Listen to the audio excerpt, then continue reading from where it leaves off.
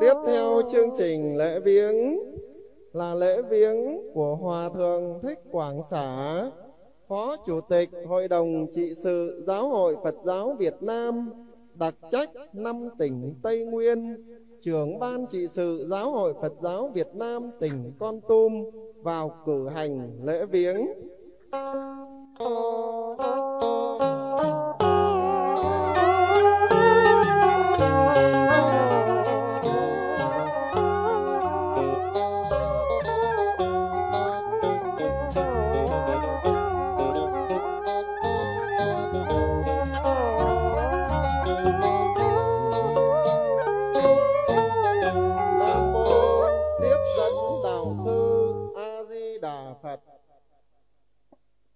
Kính bạch giác linh Đức Pháp chủ Thùy Từ chứng giám. Kính bạch Hòa thượng Thích Quảng xả Phó Chủ tịch Hội đồng Trị sự Giáo hội Phật giáo Việt Nam, đặc trách năm tỉnh Tây Nguyên, trưởng ban trị sự Phật giáo tỉnh Con Tum. Hôm nay, khi Đức Pháp Chủ hóa duyên đã mãn, Ngài thu thần thị tịch. Hòa thượng cùng quý phái đoàn không quản ngại đường xá xa xôi, về tại viên minh tổ đình, đốt nén hương thơm, kính viếng bái biệt Đức Pháp Chủ. Chúng con cung thỉnh Hòa thượng cùng quý phái đoàn niệm hương cúng dường giới hương đình hương giữ tòa hương giải thoát giải tri kiến hương. Quang minh vân đài biên pháp giới cung giảng giác linh hòa thượng tiền. Nam mô Hương Cung Giảng Bồ Tát, Nam mô Hương Cung Giảng Bồ Tát, Nam mô Hương Cung Giảng Bồ Tát Ma Chúng con cung thỉnh Hòa Thượng dâng hương kính viếng giác linh Đức Pháp Chủ.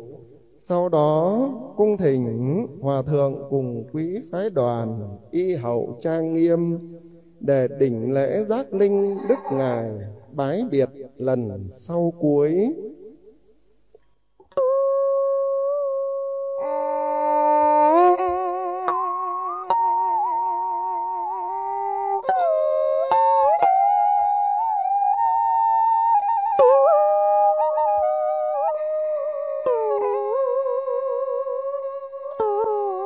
Chí tâm định là Nam mô Việt Nam Phật giáo giáo hội chứng minh hội đồng. Đề tam pháp chủ ma sa môn tỳ khiêu Bồ Tát giới thích thượng phổ hạ tuệ. Đại lão hòa thượng tam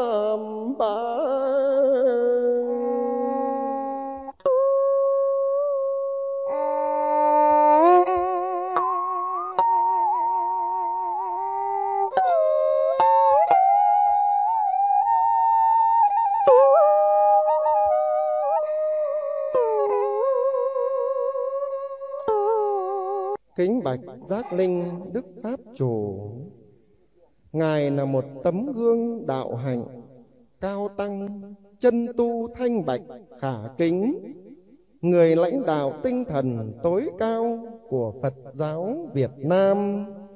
Để tỏ lòng kính tiếc Ngài Chư Tôn Đức đỉnh lễ giác linh Đức Ngài Sau đó chúng con cung thỉnh Hòa Thượng Cùng quý phái đoàn nhiễu quanh về bên Tây Hữu đi quanh Kim Quan để bái biệt giác linh Đức Pháp Chủ.